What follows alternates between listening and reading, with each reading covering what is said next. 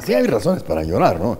Sí, oiga, pues si yo acabo de ver que atropellaron a, un, que no diga a un señor o a una señora o a un niño, simplemente si veo que acaban de atropellar a un perrito, pues creo que puedo, puedo derramar una lágrima, pero puedo derramar una lágrima.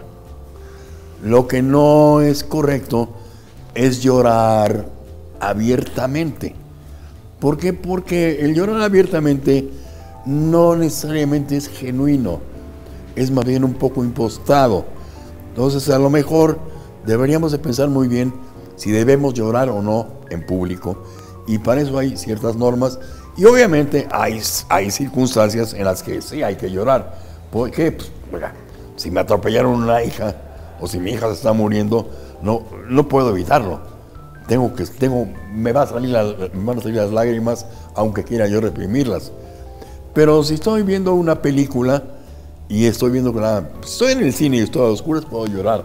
Pero no puedo estar llorando en público. No, no es lo, correcto. Y mucho menos en un hombre. No es que, no es que los hombres no deban llorar. Sí pueden llorar si quieren. Pero es mejor no llorar en público. Si me permiten, vamos un poquito por primera vez a tratar este tema y después seguiremos hablando de él por los motivos que hay para llorar y cómo llorar de una manera, no digamos con estilo, de una manera genuina, de una manera que no se vea impostada, que no se vea que estamos llorando nada más para impresionar a otros, que se vea que las lágrimas nos salen del corazón. Saludos, estilócratas. Hoy quiero decirles algo que nos puede ocurrir a todos, porque siempre hay situaciones difíciles en la vida y nunca sabemos cuándo nos llegarán. Para muchos, llorar es una manera de desahogar esos sentimientos y emociones, pero no se sienten cómodos llorando en público. Para que evites esta incomodidad de llorar en público, Estilocast te da los siguientes consejos. Haz movimientos para evitar llorar. Concéntrate en tu respiración. Cuando sientas las lágrimas brotar, concéntrate en inhalar profundo por la nariz y exhalar lentamente por la boca. Esto relaja el nudo de tu, de tu garganta y regula tus emociones. Mueve tus ojos. Parpadear varias veces ayuda a detener las lágrimas. Haz viscos o mueve tus ojos varias veces. Esto obstruye la formación de las lágrimas. Presiona. Es importante que te centres en otras cosas. Por ejemplo, presionar una parte de tu cuerpo ayudará a distraerte. Aprieta fuertemente tu puño o toma un objeto para apretar de esta manera puedes disipar el estrés.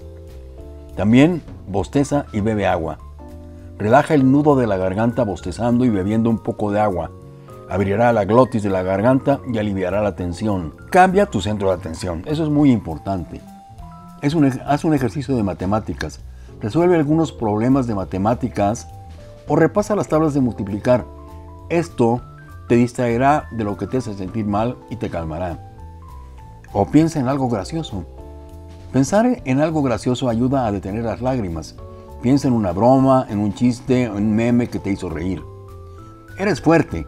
Recuerda que eres fuerte y una excelente persona. Piensa positivamente, es saludable y alivia tu angustia. Está bien llorar, pero si no es el lugar para hacer lo que hacemos. Sentirse triste es normal, pero hacerlo en ciertos lugares es incómodo y poco apropiado. Por ejemplo, cuando tienes que mostrar fortaleza para algún amigo en un hospital, etc. Date tu tiempo para llorar, pero por ahora mantente firme. Disimula tus lágrimas diciendo que lo provoca el bostezo, la alergia o un resfriado. Estas son nuestras recomendaciones estilócratas. Deja tus comentarios sobre este tema, comparte este video y síguenos en Facebook e, e Instagram. Éxito, estilócratas. Amigos, espero que lo que hemos dicho les guste. Por favor, difúndanlo con sus amigos, publíquenlo en sus redes y les pido que sean tan amables de vernos en la próxima. Muchas gracias por su atención.